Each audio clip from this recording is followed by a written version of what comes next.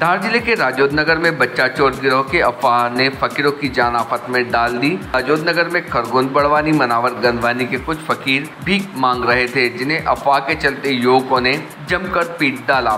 जिसका वीडियो भी social media पर वायरल हुआ। बताया जाता है कि नगर में यह अफवाह फैला दी गई थी कि नगर में बच्चा चोर गिरोह घूम रहा है। यह अफवाह नगर में तेज़ी से फैलती गई।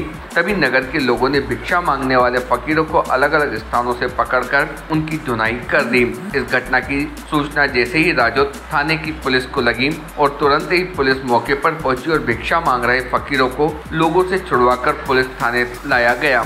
जहाँ उनकी तलाशी लेकर और पूछताछ के बाद सुरक्षित उनके घरों को पहुँचाया। इस घटना पर धार एसपी मनोज कुमार सिंह ने बताया कि राजौद में कुछ लोग भिक्षा मांग रहे थे, जिन्हें अफवाह के चलते मारा पीटा गया। पुलिस ने तुरंत कार्रवाई करते हुए भिक्षा मांगने वालों को राजौद थाने से पुलिस फोर्स के साथ सुरक्षित उनके घरों को पहुँचाया। मारपीट करने वालों के खिलाफ पुलिस वायरल वीडियो व सीसीटीवी कैमरे के फुटेज के आधार पर प्रकरण दर्ज कर आगे की कार्रवाई कर रही है।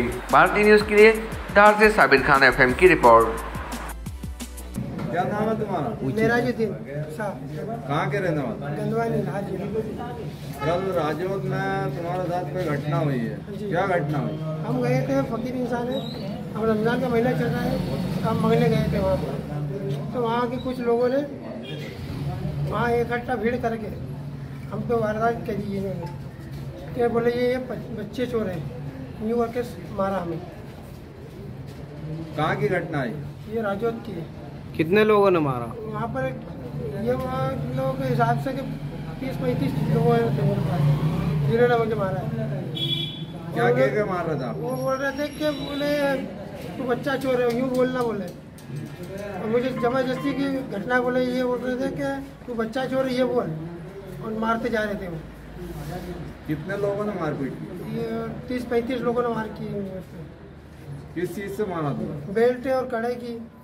और हाथ पैरों की और पिकअप में डाल के लेके जा रहे थे लोग के गौशाला में लेके जाते इनको काट देंगे बोले।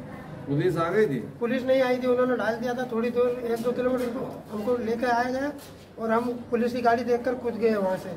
और वहाँ से जैसा कूदे वैसे उन्होंने गाड़ी रोक रोक कर पंचायती फिर उन्होंने भीड़ में। पुलिस ने क्या करा? मौके पर ही थी तो? मौके पे पुलिस रही थी तो उन्होंने हमको पब्लिकों से निकाला बाहर। वो गाड़ियों में डाला फिर गाड़ियों में डालने के बाद भी गाड़ी में मार रहे थे हमको। पुलिस की मौजूदगी में भी देखिए खरगोन, बड़वानी, मनावर, गंधमानी से कुछ फकीर लोग भिक्षा मांगने के लिए घूम रहे थे। उनके घूमने के क्रम में राजोद ग्रामवासियों का संदेह हुआ कि ये लोग बच्चा चोर कोई गैंग तो नहीं है। इसी बच्चा चोर गैंग के सदस्य होने के नाम पे शंका के आधार पर उन लोगों ने उनके साथ थोड़ी बहुत झुमा झटकी करी है, मारपीट हुई थी। तत्काल राजौद थाना प्रभारी मौके पर पहुँच करके उन लोगों को बचाए। बचाने के बाद उनके साथ जो मारपीट हुई थी, उस पर हम लोगों ने मुकदमा कायम दर्ज कर लिया है। और इस तरह के जो लोग भी राजौद के आसपास घूम रहे थे, उनको सब लोगों को हम लोगों ने सुरक्षित इकट्ठा थाने पर किया और उनको अपने अपने घरों को सुरक्षा के साथ पहुँचाया है।